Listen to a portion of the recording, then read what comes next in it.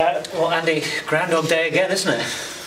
Uh, look, I think uh, anybody who, who's come and seen that game today will, uh, will first and foremost uh, not understand how we haven't won it. I think in terms of pressure and chances and um, opportunities and you know and pressure on, like I say, on the opposition there. Um, certainly, second half is.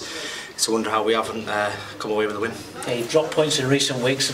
They won't have been. You won't have been happy with those. But as well as he played today, that must make today's result even harder to stomach. Yeah, look, I think we, you know, we asked for a reaction off the players. Um, we got that. I think the fans were fantastic as well, backing the players all right the way till the end, um, which is what we're going to need. You know, obviously for the, the last two games. But hey, look, you know, it's a results business. Obviously, we want to win games, but in terms of performance um, and a reaction we got from the players was, was first class today. And um, on another day, obviously their keeper pulling off saves left, right, and centre, hitting the bar, hitting the post.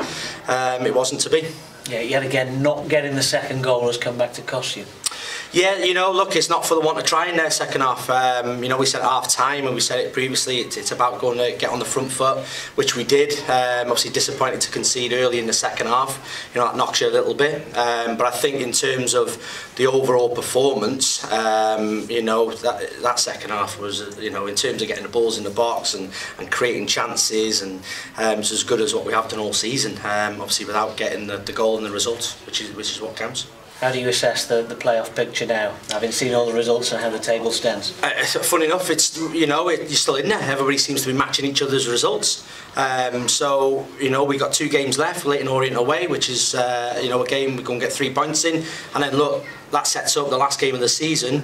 Um, you know could could be all, all winner takes all. Um, other teams have got are going to drop points. Certainly because there's going to be ups and downs. Um, we've got to make sure we're in there and remain positive, which we will be going down to Leyton Orient next Saturday. Yeah, we talk about teams below you catching you up. If you can keep Fylde within striking distance, you know essentially it could still be in your hands. Yeah, yeah, and uh, you know there's there's a lot of big games to go. This team's got to play each other around them.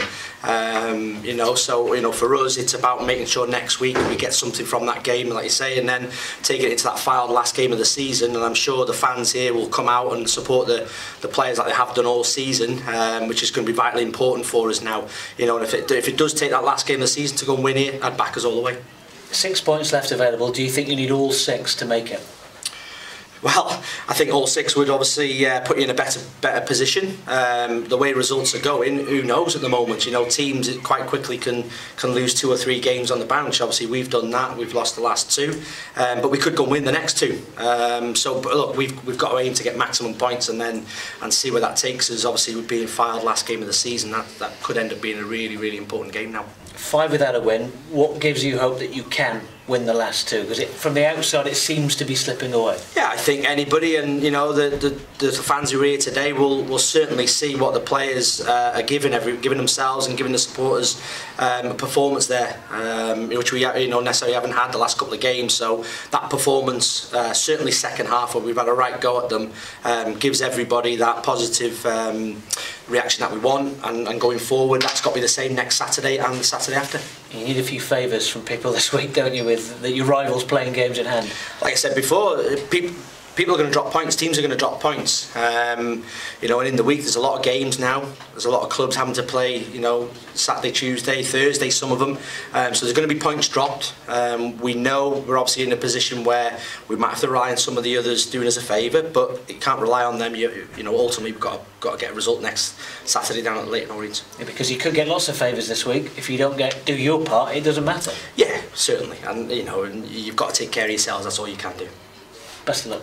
Thank you. Cheers, Andy. Cheers, Andy. Thanks, Andy. Cheers. Thanks, guys. Cheers. Thanks,